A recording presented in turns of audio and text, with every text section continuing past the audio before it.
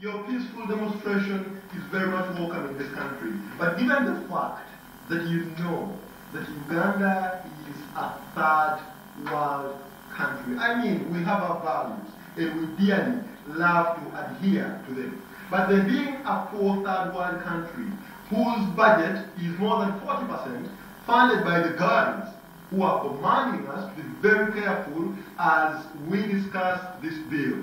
How dare you say that we can just leave what they're saying and we go on with the promotion of our values? Well, uh, first of all, I, I think that there is need to change paradigm. Well, right now, we are one of the emerging nations. So when you talk about Uganda, a country with oil, a country with significant uranium, uh, the recent aeronautical survey revealed that Uganda is one of the most gifted countries with uranium, which Americans and Europeans need to be able to run their nuclear reactors. Just, just so you think of two particular issues, uranium and uh, as well as uh, oil. First Think of of all, what what value, what now, value, what value is so when, uranium? when, when you begin to talk Yes. about nations of power, you need Uh-huh. to begin to talk about Saudi Arabia. Saudi Arabia has its own unique value system, and America respects it because they have taken a stand of determination. China, let me finish with No, China. no, no, Pastor, you're, you're, you're, you're, I mean, you're talking about a few countries. Talk about Saudi Arabia, don't talk about China. You're talking about Saudi, Arabia, one of the very few countries that are special in their own manner. Well, we have oil and uranium. And so look, does- and- look at African countries. look at African countries that actually have oil and uranium. Are they self-sustaining? Are they not funded by the same donors? Um, I was coming to the point. I know you are a bit pessimistic, but the, you have to understand there's a new. Uganda, and you have to have a realistic assessment of what God has given this country. This country, when you begin to mention nations of power, you need to begin to mention Abu Dhabi, you begin to mention Kuwait, you begin to mention Saudi Arabia, you begin to mention Uganda. Today, the Italian people are here to try and invest in our oil chain. You need to wake up to the new reality.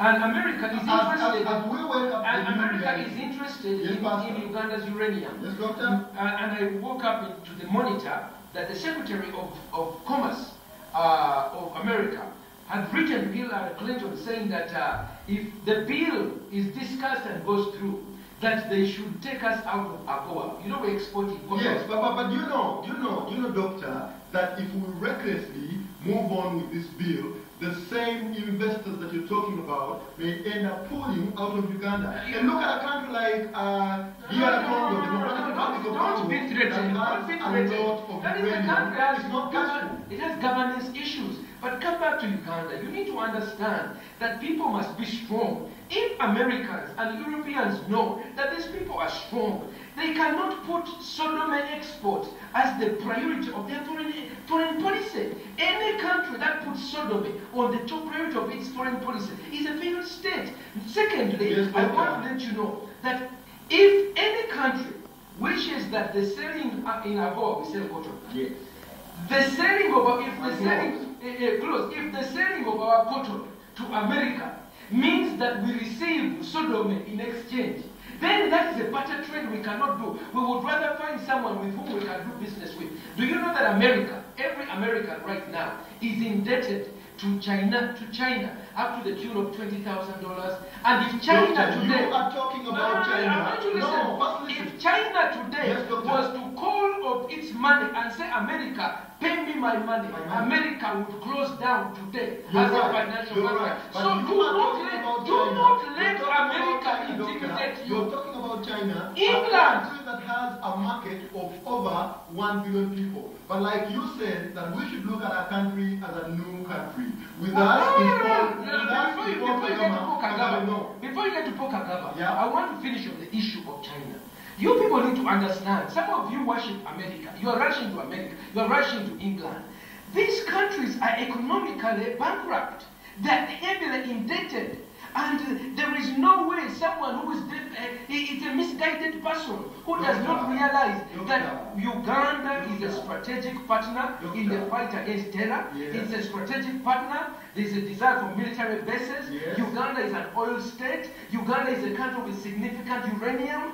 No government can put its foreign policy that the number one priority is the export of sodomy. Doctor, it's for that same reason that many people get to appreciate the United States of America. Who else would you appreciate than a poor man who forgets about his poverty and he comes out wholeheartedly to support you to get you out of poverty? How many people in this country are on antiretroviral drugs? These are life-saving drugs. And the U.S., through its PEPFAR program, that is actually funding such programs. And you abused, and you abused George Bush. George gave the money. that funding stops- George Bush gave the money for, for, for fighting homosexuals, for, for, for 200 people George Bush. Obama has failed. But George Bush did well, and you people condemned him. Now you are coming back and saying, "Oh, America is giving us." But if the giving us of mosquito nets, ARVs, and malaria medicines involves us embracing sodomy and going the way of Sodom and Gomorrah, then we would rather die in dignity than live in dishonor because we have held these cherished cultures for thousands of years. Yes, America is about only two, three Yes, years. but it's not only America. Just Uganda, Uganda alone Uh-huh. is close to 500 years. Long before America was made, in Uganda we knew a man marries a woman. You have the Ashanti kingdom, you have Ghana, you have Timbuktu, you have Egypt, you all the way to Zululand. You, wait, Zimbabwe, we cannot deny the historical hand down to us we have received from our fathers. Just because some guy Gordon Brown or whatever is saying that we need the Canada, just because those are misguided failed states.